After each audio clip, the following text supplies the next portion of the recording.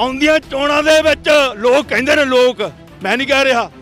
ਆਉਂਦੀਆਂ ਚੋਣਾਂ ਦੇ ਵਿੱਚ ਕਹਿੰਦੇ ਐਸਾ ਮਾਂਜਾ ਲਾਵਾਂਗੇ।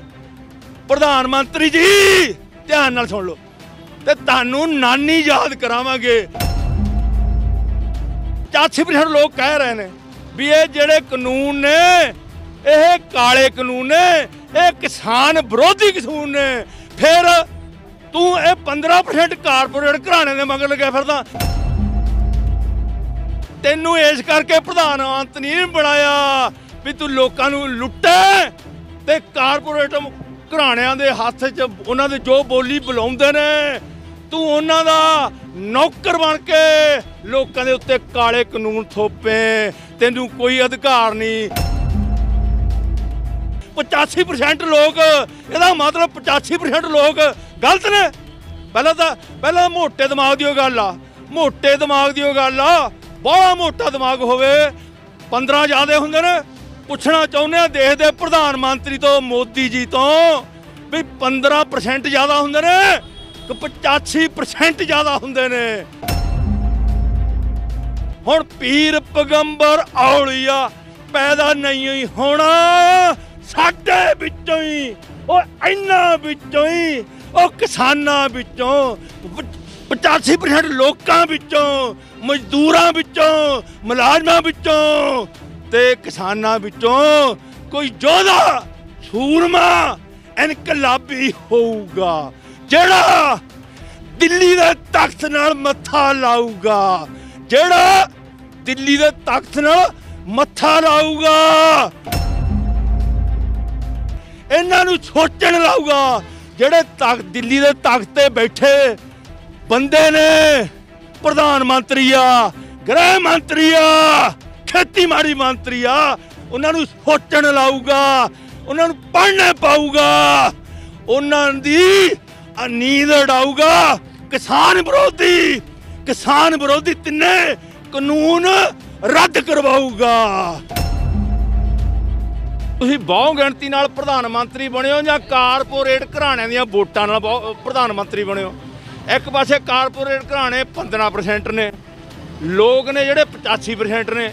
ਹੁਣ ਤੁਸੀਂ ਪ੍ਰਧਾਨ ਮੰਤਰੀ ਦੇਸ਼ ਦੇ ਬਣੇ ਹੋ ਬਣ ਕੇ ਇਹ ਮਤਲਬ ਨਹੀਂ ਹੈਗਾ ਵੀ ਮੁੜ ਕੇ ਹੁਣ ਮੈਂ ਇਹਨਾਂ ਨੂੰ 85% ਲੋਕਾਂ ਨੂੰ ਭੁੱਲ ਜਾ ਪ੍ਰਧਾਨ ਮੰਤਰੀ ਦੀ ਸੀਟ ਤੇ ਬਹਿ ਕੇ ਇਹ ਪ੍ਰ- ਤੁਹਾਨੂੰ ਕਾਰਪੋਰੇਟ ਘਰਾਣੇ ਪੈਸੇ ਦੇ ਸਕਦੇ ਨੇ ਪਰ 85% ਵੋਟਾਂ ਨਹੀਂ ਦੇ ਸਕਦੇ। 85% ਵੋਟਾਂ ਤਾਂ ਇਹ ਲੋਕਾਂ ਦੀਆਂ ਨੇ। ਦੇਸ਼ ਦੇ ਪ੍ਰਧਾਨ ਮੰਤਰੀ ਕਿਸਾਨਾਂ ਬਾਰੇ ਕਹਿੰਦੇ ਨੇ। ਕਹਿੰਦੇ ਵੀ ਕਿਸਾਨ ਭੋਲੇ ਭਾਲੇ ਨੇ। ਜਦੋਂ ਇਹਨਾਂ ਨੇ ਹੱਕ ਦੇਣੇ ਹੁੰਦੇ ਨੇ, ਉਦੋਂ ਕਿਸਾਨ ਭੋਲੇ ਭਾਲੇ ਬਣ ਜਾਂਦੇ ਨੇ। ਜਦੋਂ ਇਹਨਾਂ ਨੇ ਵੋਟਾਂ ਲੈਣੀਆਂ ਹੁੰਦੀਆਂ ਨੇ, ਫਿਰ ਕਿਸਾਨਾਂ ਦੀਆਂ ਵੋਟਾਂ ਨਾਲ, ਮਜ਼ਦੂਰਾਂ ਦੀਆਂ ਵੋਟਾਂ ਨਾਲ ਇਹ ਪ੍ਰਧਾਨ ਮੰਤਰੀ ਬਣਦੇ ਨੇ। ਇਹਦਾ ਮਤਲਬ ਇਹ ਨਹੀਂ ਹੈਗਾ ਵੀ ਆਪਦਾ ਮਤਲਬ ਵੋਟਾਂ ਲਈਆਂ ਤੇ ਮੁੜ ਕੇ ਇਹਨਾਂ ਨੂੰ ਭੋਲੇ ਭਾਲੇ ਕਹਿਣ ਲੱਗ ਜਾ ਤੇ ਫਿਰ ਕਿਸਾਨ ਆਗੂ ਨੇ ਉਹਦਾ ਨਾਂ ਨਹੀਂ ਪੜ੍ਹ ਹੋਇਆ ਮੇਰੇ ਤੋਂ ਚ ਕਿਸਾਨ ਆਗੂ ਨੇ ਬੜੇ ਵਧੀਆ ਢੰਗ ਨਾਲ ਲਿਖਿਆ। ਉਹ ਕਹਿੰਦੇ ਅਸੀਂ ਭੋਲੇ ਭਾਲੇ ਨਹੀਂ ਹੈਗੇ, ਅਸੀਂ ਪੜ੍ਹੇ ਲਿਖੇ ਆ। ਤੇ ਕਾਨੂੰਨਾਂ ਬਾਰੇ ਚੰਗੀ ਤਰ੍ਹਾਂ ਜਾਣਦੇ ਆ, ਤੁਹਾਡੇ ਨਾਲੋਂ ਵੱਧ ਜਾਣਦੇ ਆ। ਸਾਡੇ ਬੱਚਿਆਂ ਨੇ, ਅਸੀਂ ਕਈਆਂ ਬਹੁਤਿਆਂ ਨੇ ਲਾ ਵੀ ਕੀਤਾ ਹੋਊਗਾ ਵੀ ਕਾਨੂੰਨ ਬਾਰੇ ਤੁਸੀਂ ਨਹੀਂ ਇਕੱਲੇ ਜਾਣਦੇ। ਪਰ ਇੱਕ ਗੱਲ ਤਾਂ ਅਸੀਂ ਕਹਿਣ ਨੂੰ ਤਿਆਰ ਆ ਤੁਸੀਂ ਦੇਸ਼ ਦੇ ਪ੍ਰਧਾਨ ਮੰਤਰੀ ਬਣੇ ਹੋ। ਤੁਸੀਂ ਇਹ ਲੋਕ, ਜਿਹੜੇ ਲੋਕ ਬੈਠੇ ਨੇ ਇੱਥੇ ਦਿੱਲੀ ਆ ਕੇ, ਘਰ ਛੱਡ ਕੇ ਬੈਠੇ ਨੇ, ਬਾਲ ਬੱਚਾ ਸਾਰਾ ਛੱਡ ਕੇ ਬੈਠੇ ਨੇ। ਪਰ ਉਹਨਾਂ ਨੇ ਤੁਹਾਨੂੰ ਵੋਟਾਂ ਪਾ ਕੇ ਪ੍ਰਧਾਨ ਮੰਤਰੀ ਬਣਾਇਆ। ਠੀਕ ਹੈ ਜੀ? ਉਸ ਤੋਂ ਬਾਅਦ ਤੁਸੀਂ ਪ੍ਰਧਾਨ ਮੰਤਰੀ ਬਣ ਗਏ। ਤੁਹਾਨੂੰ ਇਹ, ਤੁਸੀਂ ਇਹ ਸੋਚੋ ਵੀ ਤੁਸੀਂ ਬਹੁ ਗਿਣਤੀ ਨਾਲ ਪ੍ਰਧਾਨ ਮੰਤਰੀ ਬਣਿਓ ਜਾਂ ਕਾਰਪੋਰੇਟ ਘਰਾਣਿਆਂ ਦੀਆਂ ਵੋਟਾਂ ਨਾਲ ਬਹੁ- ਪ੍ਰਧਾਨ ਮੰਤਰੀ ਬਣਿਓ? ਇੱਕ ਪਾਸੇ ਕਾਰਪੋਰੇਟ ਘਰਾਣੇ 15% ਨੇ, ਲੋਕ ਨੇ ਜਿਹੜੇ 85% ਨੇ। ਹੁਣ ਤੁਸੀਂ ਪ੍ਰਧਾਨ ਮੰਤਰੀ ਦੇਸ਼ ਦੇ ਬਣੇ ਹੋ ਬਣ ਕੇ ਇਹ ਮਤਲਬ ਨਹੀਂ ਹੈਗਾ ਵੀ ਮੁੜ ਕੇ ਹੁਣ ਮੈਂ ਇਹਨਾਂ ਨੂੰ 85% ਲੋਕਾਂ ਨੂੰ ਭੁੱਲ ਜਾ, ਪ੍ਰਧਾਨ ਮੰਤਰੀ ਦੀ ਸੀਟ ਤੇ ਬਹਿ ਕੇ। ਇਹ ਪ੍ਰ- ਤੁਹਾਨੂੰ ਕਾਰਪੋਰੇਟ ਘਰਾਣੇ ਪੈਸੇ ਦੇ ਸਕਦੇ ਨੇ ਪਰ 85% ਵੋਟਾਂ ਨਹੀਂ ਦੇ ਸਕਦੇ। 85% ਵੋਟਾਂ ਤਾਂ ਇਹ ਲੋਕਾਂ ਦੀਆਂ ਨੇ ਜਿਹੜੇ ਦਿੱਲੀ ਆ ਕੇ ਠੰਡ ਦੇ ਵਿੱਚ ਬੈਠੇ ਨੇ। ਆਪਣਾ ਘਰ-ਬਾਰ ਛੱਡ ਕੇ 17 ਸਾਲਾਂ ਤੋਂ ਉੱਪਰ ਅ, 90 ਸਾਲ ਦਿਆਂ ਦੇ ਵਿੱਚ ਇੱਥੇ ਆ ਕੇ ਬੈਠੇ ਨੇ। ਆਪਣੀਆਂ ਬਹੁਤੇ ਕਿਸਾਨਾਂ ਨੇ ਬਹੁਤੇ ਲੋਕਾਂ ਨੇ ਜਾਨਾਂ ਵੀ ਦੇਤੀਆਂ। ਜਾਨਾਂ ਦੇਣ ਵੀ ਕਿਉਂ ਨਾ? ਜਦੋਂ ਅਸੀਂ ਦੇਸ਼ ਦਾ ਪ੍ਰਧਾਨ ਮੰਤਰੀ ਬਣਾਇਆ, ਤੈਨੂੰ ਇਸ ਕਰਕੇ ਪ੍ਰਧਾਨ ਮੰਤਰੀ ਨਹੀਂ ਬਣਾਇਆ ਵੀ ਤੂੰ ਲੋਕਾਂ ਨੂੰ ਲੁੱਟੇ ਤੇ ਕਾਰਪੋਰੇਟ ਘਰਾਣਿਆਂ ਦੇ ਹੱਥ 'ਚ ਉਹਨਾਂ ਦੇ ਜੋ ਬੋਲੀ ਬੁਲਾਉਂਦੇ ਨੇ, ਤੂੰ ਉਹਨਾਂ ਦਾ ਨੌਕਰ ਬਣ ਕੇ ਲੋਕਾਂ ਦੇ ਉੱਤੇ ਕਾਲੇ ਕਾਨੂੰਨ ਥੋਪੇ, ਤੈਨੂੰ ਕੋਈ ਅਧਿਕਾਰ ਨਹੀਂ। ਜਦ ਕਹਿ ਰਹੀ ਆ, ਲਕਾਈ ਪੂਰੀ ਕਹਿ ਰਹੀ ਆ 85% ਲੋਕ ਕਹਿ ਰਹੇ ਨੇ ਵੀ ਇਹ ਜਿਹੜੇ ਕਾਨੂੰਨ ਨੇ ਇਹ ਕਾਲੇ ਕਾਨੂੰਨ ਨੇ, ਇਹ ਕਿਸਾਨ ਵਿਰੋਧੀ ਕਾਨੂੰਨ ਨੇ।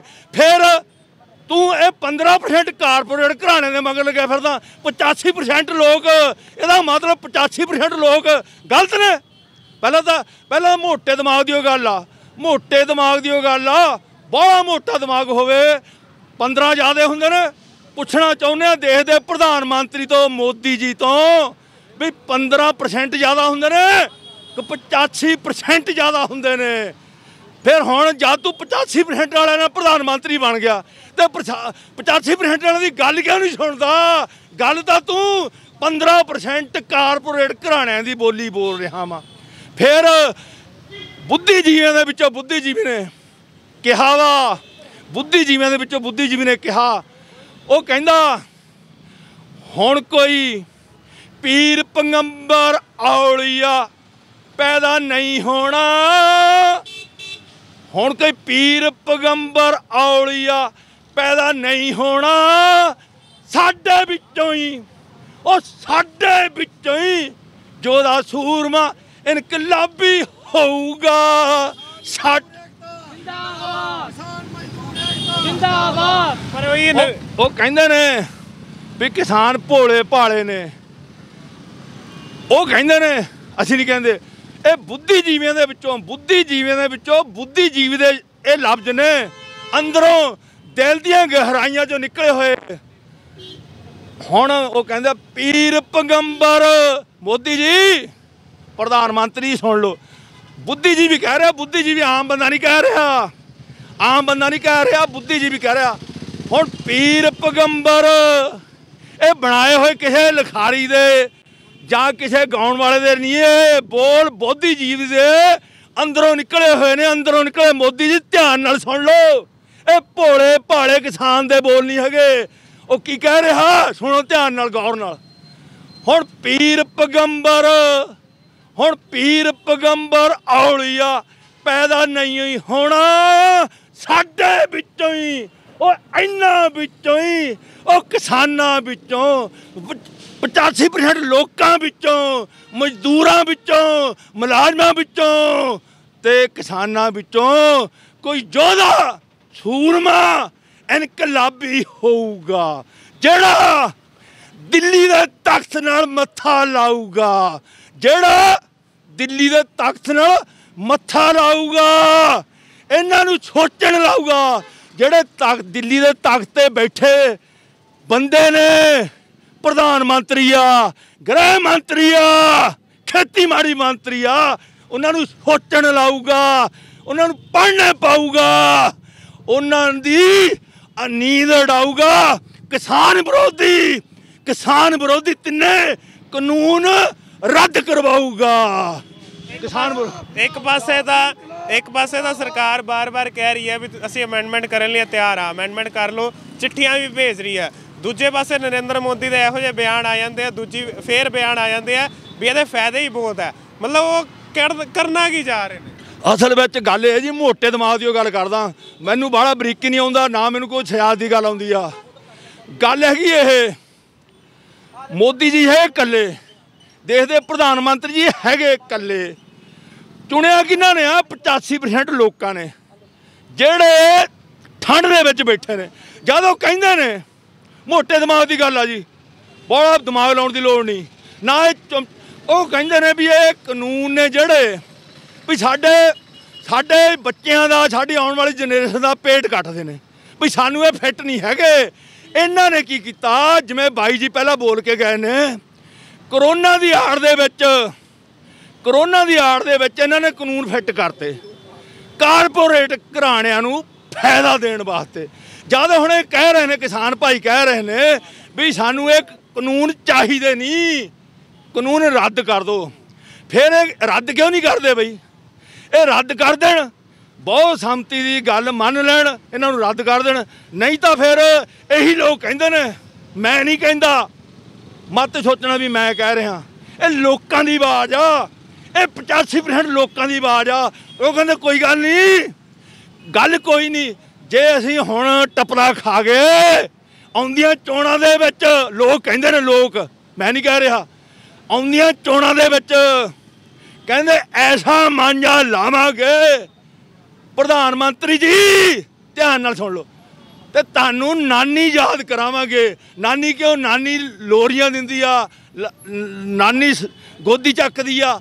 ਇਸ ਕਰਕੇ ਕਿਸਾਨਾਂ ਦੀ ਗੱਲ ਮੰਨ ਲਓ, ਤੇ ਫਿਰ ਉਹ ਕਹਿੰਦਾ ਵਾ, ਜਿਹੜਾ ਜੋਧਾ ਸੂਰਮਾ ਇਨਕਲਾਬੀ ਆ, ਕਹਿੰਦਾ ਕਾਰਪੋਰੇਟ ਘਰਾਣੇ ਅਡਾਨੀ ਤੇ ਅਵਾਨੀ, ਅਡਾਨੀ ਤੇ ਅਵਾਨੀ ਦੇ। ਉਹ ਜਿਹੜਾ ਇਨਕਲਾਬੀ ਆ, ਜੋਧਾ ਸੂਰਮਾ, ਅਡਾਨੀ ਤੇ ਅਵਾਨੀ ਦੇ, ਟੋਲ ਪਲਾਜੇ ਮਾਲ ਬੰਦ ਕਰਵਾਊਗਾ। ਜਿਵੇਂ ਬਾਈ ਜੀ ਨੇ ਪਹਿਲਾਂ ਕਿਹਾ ਵਾ, ਮੱਕੀ ਸਾਡੇ ਪੰਜਾਬ ਦੀ ਹੋਊਗੀ, ਉੱਤੇ ਲੈਵਲ ਅਡਾਨੀ ਤੇ ਅਵਾਨੀ ਦਾ ਹੋਊਗਾ। ਫਿਰ ਉਹਦਾ ਰੇਟ ਅਡਾਨੀ ਤੇ ਅਵਾਨੀ ਤੈਅ ਕਰਨਗੇ। ਇਹ ਦੇਸ਼ ਦੇ ਪ੍ਰਧਾਨ ਮੰਤਰੀ ਉਹਨਾਂ ਦਾ ਨੌਕਰ ਬਣ ਕੇ ਉਹਨਾਂ ਦਾ ਕੰਮ ਕਰ ਰਹੇ ਨੇ। ਇਹ ਉਹਨਾਂ ਦਾ ਕੰਮ ਪਤਾ ਕਿਉਂ ਕਰ ਰਹੇ ਨੇ? ਇਹ ਸਿਆਣੇ ਆ। ਇਹ ਕੰਮ ਉਹਨਾਂ ਤਾਂ ਕਰਦੇ ਆ, ਜਦੋਂ ਆਪਾਂ ਇੱਥੇ ਕੋਈ ਮਕਾਨ ਬਣਾਉਣਾ ਹੁੰਦਾ, ਆਪਾਂ ਕੋਈ ਦਿਹਾੜੀ ਤੇ ਮਜ਼ਦੂਰ ਲੈ ਆਉਂਦੇ ਆ। ਉਹ ਜੇ ਮਾਲਕ ਕਹਿੰਦਾ, ਉਹਨੂੰ ਇਹ ਨਹੀਂ ਪਤਾ ਹੁੰਦਾ ਮਜ਼ਦੂਰ ਨੂੰ ਵੀ ਇਹ ਕੰਧ ਢਾਉਣ ਵਾਲੀ ਹੈ ਜਾਂ ਨਹੀਂ ਢਾਉਣ। ਮਾਲਕ ਕਹਿੰਦਾ ਵੀ ਤੈਨੂੰ ਮੈਂ ਦਿਹਾੜੀ ਦੇਣੀ ਹੈ ਇਹ ਕੰਧ ਢਾ ਦੇ। ਜੇ ਉਹ ਕਹੇ ਮੈਂ ਨਹੀਂ ਕੰਧ ਢਾਉਂਦਾ, ਉਹ ਕਹਿੰਦਾ ਜੇ ਤੂੰ ਕੰਧ ਨਹੀਂ ਢਾਉਂਦਾ, ਜਾ ਫਿਰ। ਜਾ ਡੰਡੀ ਪੈ। ਉਹ ਇਸ ਕਰਕੇ ਉਹਨੂੰ ਉਹਨਾਂ ਦੀ ਗੱਲ ਮੰਨਣੀ ਪੈ ਰਹੀ ਆ। ਪਰ ਗੱਲ ਇਹ ਆ ਵੀ ਉਹ ਜਿਹੜੇ ਦੇਸ਼ ਦੇ ਪ੍ਰਧਾਨ ਮੰਤਰੀ ਨੇ, ਉਹ ਗੱਲ ਉਹਨਾਂ ਦੀ ਗਲਤ ਮੰਨ ਰਹੇ ਨੇ। ਉਹਨਾਂ ਨੂੰ ਇਹ ਸੋਚਣਾ ਚਾਹੀਦਾ, ਬਹੁਤੀਆਂ ਗੱਲਾਂ ਨਾ ਕਰੀਏ, ਬਹੁਤੀਆਂ ਕਹਾਣੀਆਂ ਬੁਆਣੀਆਂ ਨਾ ਪਾਈਏ। ਇੱਕੋ ਗੱਲ ਆ ਜੀ ਜਿਹੜੀ ਗੱਲ ਨੂੰ ਬਹੁਤ ਸੰਮਤੀ ਕਹਿੰਦੀ ਹੋਵੇ, ਉਹ ਠੀਕ ਹੁੰਦੀ ਆ, ਉਹ ਮੰਨ ਲੈਣੀ ਚਾਹੀਦੀ ਆ। ਇੱਕ ਪਾਸੇ 15% ਲੋਕ, ਇੱਕ ਪਾਸੇ 85% ਲੋਕ, ਤੇ ਗੱਲ 85% ਦੀ ਠੀਕ ਆ। ਫਿਰ ਇੱਕ ਗੱਲ ਹੋਰ ਵੀ ਆ, ਇਹਨਾਂ ਨੂੰ ਕੋਈ ਚਾਅ ਨਹੀਂ ਹੈਗਾ ਵੀ ਦਿੱਲੀ ਆ ਕੇ ਠੰਡ 'ਚ ਬੈਠਣ ਘਰ-ਬਾਰ ਛੱਡਿਆ। ਇਹਨਾਂ ਨੂੰ ਪਤਾ ਵੀ ਆਉਣ ਵਾਲੀ ਜਨਰੇਸ਼ਨ ਦਾ ਪੇਟ ਕੱਟਿਆ ਜਾਣਾ।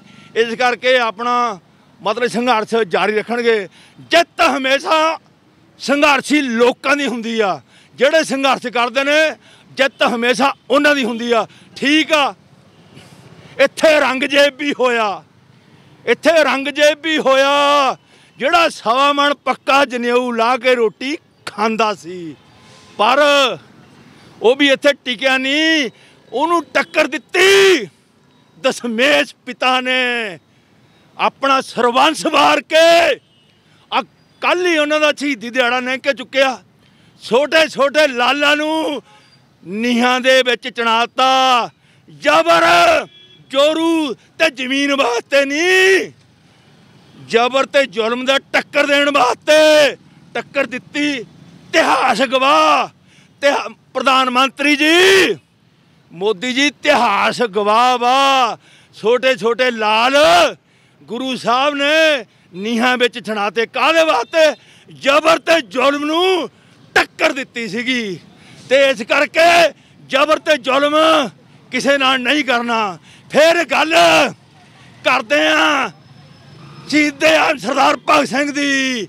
ਕੀ ਉਹਨਾਂ ਨੇ ਸ਼ਹੀਦੀ ਇਸ ਕਰਕੇ ਪਾਈ ਸੀ? ਸ਼ਹੀਦੀ ਇਸ ਕਰਕੇ ਪਾਈ ਸੀ ਕਿ ਮੇਰੀ ਭਾਰਤ ਮਾਤਾ ਆਜ਼ਾਦ ਹੋ ਜੂਗੀ। ਆਜ਼ਾਦ ਹੋ ਕੇ ਤੇ ਫਿਰ ਮੇਰੇ ਦੇਸ਼ ਦੇ ਲੋਕਾਂ ਨੂੰ ਦਿੱਲੀ ਆ ਕੇ ਠੰਡ ਦੇ ਵਿੱਚ ਬੈਠਣਾ ਪਊਗਾ। ਇਸ ਕਰਕੇ ਉਹਨਾਂ ਨੇ ਸ਼ਹੀਦੀ ਪਾਈ ਸੀਗੀ ਛੋਟੀ ਉਮਰ ਦੇ ਵਿੱਚ। ਉਹ ਵੀ ਆਪਣੀ ਉਮਰ ਨੂੰ ਹੰਡਾਉਣਾ ਜਾਣਦੇ ਸੀਗੇ। ਕਰਤਾਰ ਸਰਾਭੇ ਜੀ, ਜਿਹੜੇ 18 ਸਾਲ ਦੀ ਉਮਰ ਤੋਂ ਘੱਟ ਸੀ, ਉਹਨਾਂ ਨੇ ਆਪਣੀ ਸ਼ਹੀਦੀ ਪਾਈ ਆ। ਉਹ ਸਿਰਫ ਉਹ ਇਸ ਕਰਕੇ ਕਿ ਅੰਗਰੇਜ਼ ਲੋਕ ਉਹਨਾਂ ਨਾਲ ਵਿਹਾਰ ਮਾੜਾ ਕਰਦੇ ਸੀਗੇ। ਤੇ ਜੇ ਸੋ ਜਿਵੇਂ ਕਿ ਇਸ ਬਜ਼ੁਰਗ ਨਾਲ ਅਸੀਂ ਗੱਲਬਾਤ ਕਰਕੇ ਹਟੇ ਆ ਦੇਖ ਸਕਦੇ ਹੋ ਵੀ ਕਿੱਦਾਂ ਅੰਦਰੋਂ ਭਰਿਆ ਹੋਇਆ ਸੀ ਇਹ ਬਜ਼ੁਰਗ। ਜ਼ਰੂਰ ਗੱਲ ਹੈ ਤੰਜ ਕੱਸੇ, ਸਰਕਾਰ ਤੇ ਜ਼ਰੂਰ ਤੰਜ ਕੱਸੇ ਪਰ ਗੱਲ ਹੈ ਵੈ, ਅੰਦਰੋਂ ਭਰਿਆ ਹੋਇਆ ਸੀ ਇਹ ਬਜ਼ੁਰਗ ਤੇ ਇਹਨੇ ਜੋ ਵੀ ਮਨ ਚ ਸੀ ਵਰਗਲਾਵੇ ਸੀ, ਉਹ ਪੂਰੇ ਮਾਈਕ ਦੇ ਸਾਹਮਣੇ ਪੂਰੀ ਤਰ੍ਹਾਂ ਇਹਨੇ ਬੋਲਤੇ ਵੀ ਕਿੱਦਾਂ ਕਿਸਾਨਾਂ ਨਾਲ ਜੋ ਹਾਲਾਤ ਹੋ ਰਹੇ ਇਸ ਸਮੇਂ ਕਿਸਾਨਾਂ ਦੇ ਜੋ ਹਾਲਾਤ ਨੇ, ਕਿਸਾਨਾਂ ਨਾਲ ਜੋ ਧੱਕਾ ਹੋ ਰਿਹਾ, ਉਸ ਬਾਰੇ ਇਹਨਾਂ ਨੇ ਕਿਹਾ। ਸੋ ਇਹ ਸੀ ਕਿ ਅੱਜ ਦੀ ਖਬਰ। ਵਧੇਰੇ ਖਬਰਾਂ ਲਈ ਜੁੜੇ ਰਹੋ ਲੁਧਿਆਣਾ ਟਾਈਮਸ ਦੇ ਨਾਲ। ਕੈਮਰਾਮੈਨ ਸਤਵੰਤ ਮਠਾਰੂ ਦੇ ਨਾਲ ਕੁਵਰਜੋਤ ਸਿੰਘ ਦੀ ਰਿਪੋਰਟ ਵਧੇਰੇ ਜਾਣਕਾਰੀ ਲਈ ਸਬਸਕ੍ਰਾਈਬ ਕਰੋ ਸਾਡਾ YouTube ਚੈਨਲ ਪਬਲਿਕ ਟਾਈਮਜ਼ ਅਤੇ ਨੋਟੀਫਿਕੇਸ਼ਨ ਲਈ ਬੈਲ ਆਈਕਨ ਤੇ ਕਲਿੱਕ ਕਰਨਾ ਨਾ ਭੁੱਲੋ।